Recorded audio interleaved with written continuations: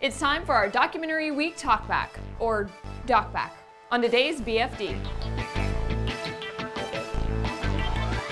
Lori Silverbush told us the inspiration for her documentary was the story of a young girl who she mentored who was so hungry she was found foraging for food.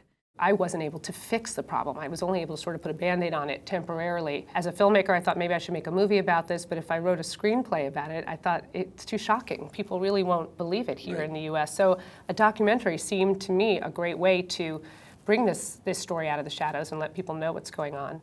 So that becomes our question. If you have a story to tell and want to affect change, which medium is more powerful? A scripted film or a documentary? To help answer that question, we have the Vice President of Participant Media's Documentary Division, Courtney Sexton. So let's start by addressing Lori's concern that the storyline of this girl would be too unbelievable for a narrative. Is that true? Well, I think what Lori was getting at in this is that the statistics are just so staggering with what's going on with food insecurity and poverty in America. I'm guessing her feeling was that if I made a scripted film of this, there would be a certain level of detachment from reality. You have an actor, you have a set, but when you have reality, which is the documentary, and these characters and the facts, it's hard to turn your head. Right. I mean, you can turn your head, but it's very hard. There are phenomenal actors out there that can move people and tell real life stories through acting, but a real character, real life. It's like talking to your friend about something that's happening to them versus them telling you a story about somebody else. With A Place at the Table, um, if you see it, there's this character, Rosie, and she's, I believe, eight years old, and she's walking you through her house and talking about not knowing where her next meal is coming from. And I don't think there's anything more emotionally stirring than hearing it from her own mouth, yeah. But narratives have their place as well. They generally draw a larger theatrical release and get more exposure. Is that something that you have to consider when bringing these points to attention?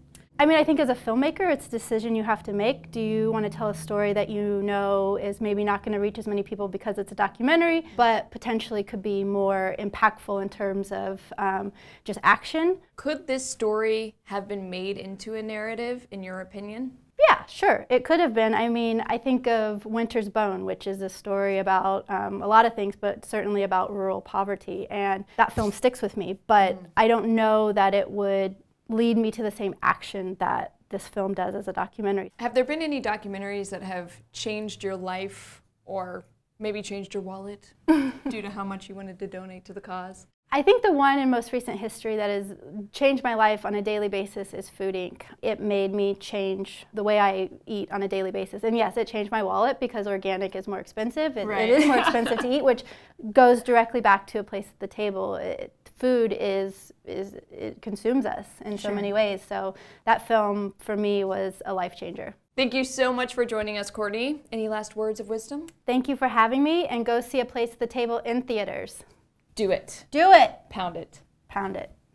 For more info on a place at the table, go to takepart.com slash table. Definitely see it in theaters. And to see the full interview that we referenced here, click there.